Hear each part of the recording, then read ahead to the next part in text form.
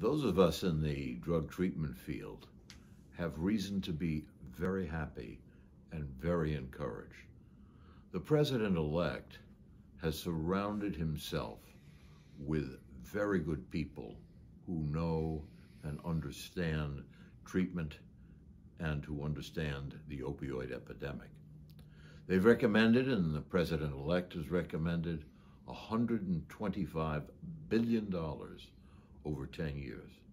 This is enough money to really allow the states to roll out the kind of treatment programs that are necessary. At the same time, the president elect is urging that we end incarceration for people with substance abuse problems and instead have treatment. This is so, so encouraging. This comes at a time that is exactly right. We have a terrible, terrible opioid epidemic in the country. We have a lot of people dying, and we have to stop that.